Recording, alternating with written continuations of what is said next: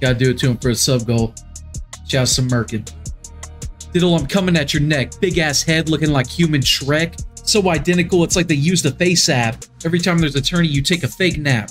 Oh shit, my bad, ass, I slept in. More like you're scared to get 3 up by Tweedy again.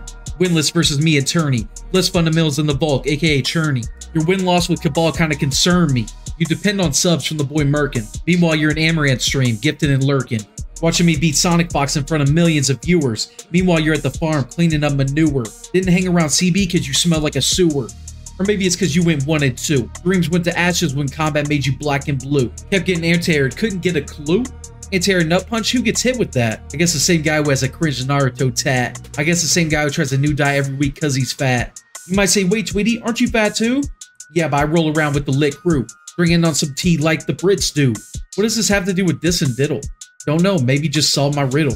Dude's got worse jujitsu than a shih tzu. Actually, he's got none because he lies about going. Lazy ass bitch makes Jennifer do all the mowing. Little bitch got gas out walking around Walmart. Can't even get a winning bracket on Pop Tart. Isn't that a winning matchup, Jay? Even Cabal can't fix trash, what can I say? Shouts to the Kingdom Hearts cover featuring Ray. That reference run deep, so most won't get it. That was pretty good, Dittle. Just admit it. Your stream's going nowhere, so just quit it. The community said Dittle is a disease. Quitty, please rid it. Flashback to 2018, Dittle was sitting home, watching the Combo Breaker stream, thinking I want to be like Tweedy, that's my dream. I want to be like Tweedy, he's the man. So that's why we call him Tweedy Stan.